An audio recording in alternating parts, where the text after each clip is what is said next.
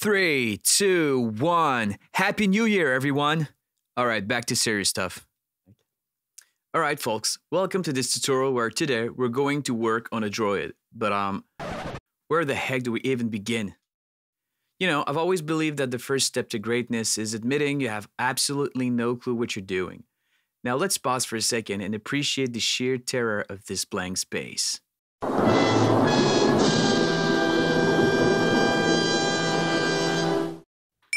Welcome to Blender Therapy, where 3D meets serenity.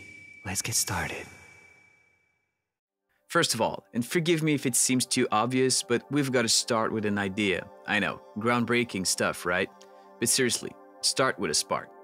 I often take a stroll through the internet to check out what other 3D artists have done, gather some inspiration, but here's the kicker I don't want to copy paste.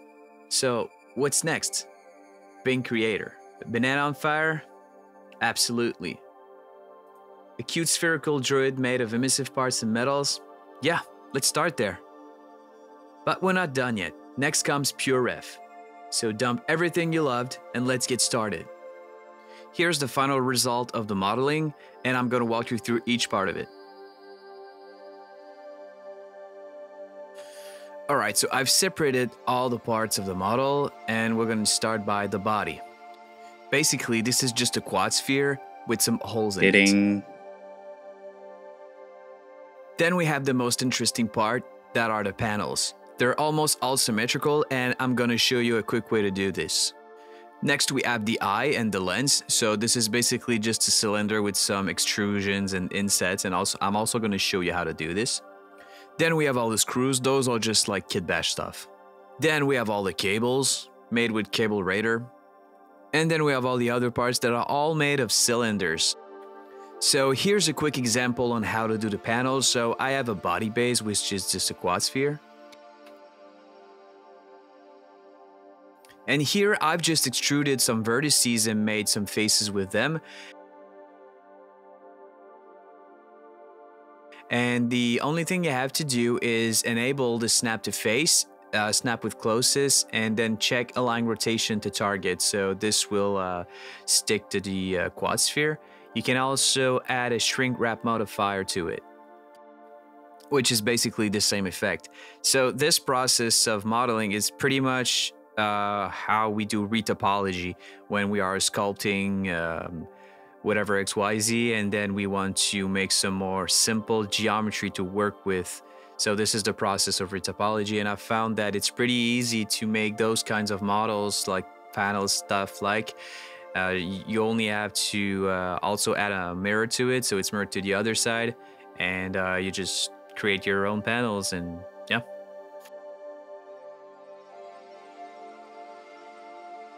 But as you can see now they're not thick so we're gonna add a solidify modifier to that all right, and next I'm gonna show you how to cut some holes in it. So I have a cylinder here that we're just gonna turn on the uh, snap to face and then using the normals.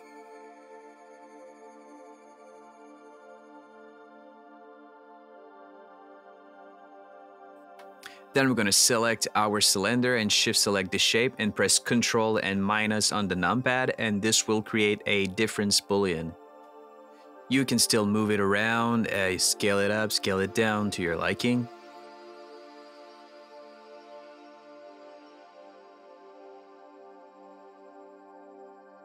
And here's the same process for the quad sphere for the base shape.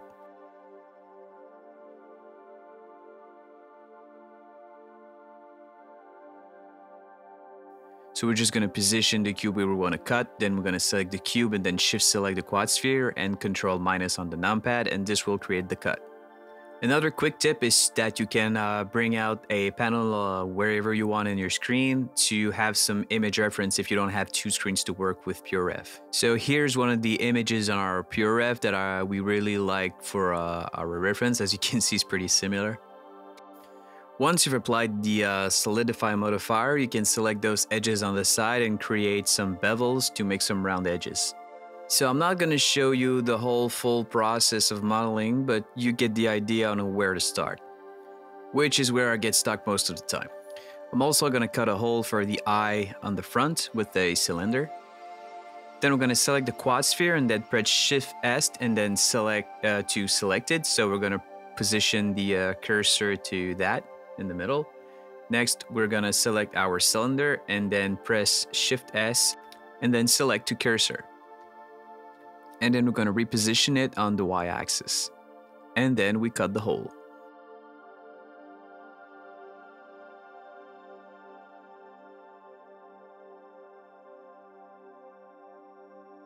All right, and lastly, I'm gonna show you how to make those uh, pipe stuff with the cylinder. So we're gonna Shift A and select cylinder.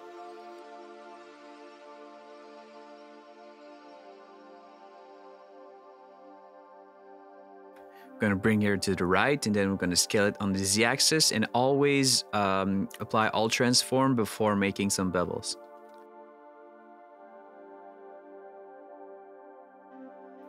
First, we're gonna select the top face. We're gonna press I to inset it and then E to extrude on the Z-axis. We're gonna inset again and then press E to extrude again on the Z-axis. And then repeat the process depending on what you're doing.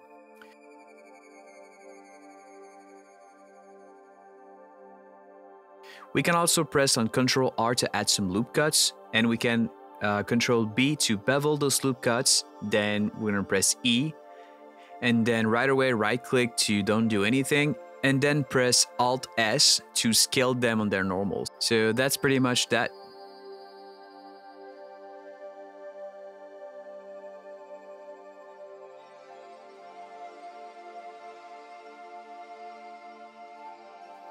Next, we're gonna turn on snap to face and we're gonna position it on our shape. But first, we're just gonna reposition the origin of the shape so it snaps correctly.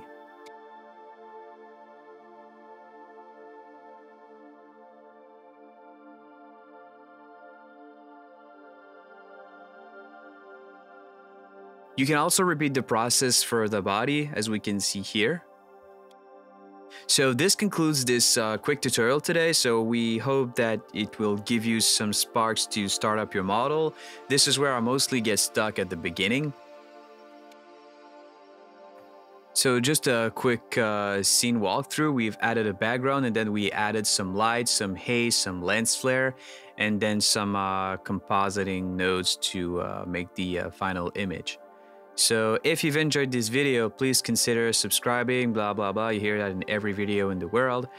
And uh, yeah, so uh, sorry it's been a while we've, since we've released uh, our last video because we're working on something new that's going to be pretty cool. It's an add-on. So again, Happy New Year and happy blending.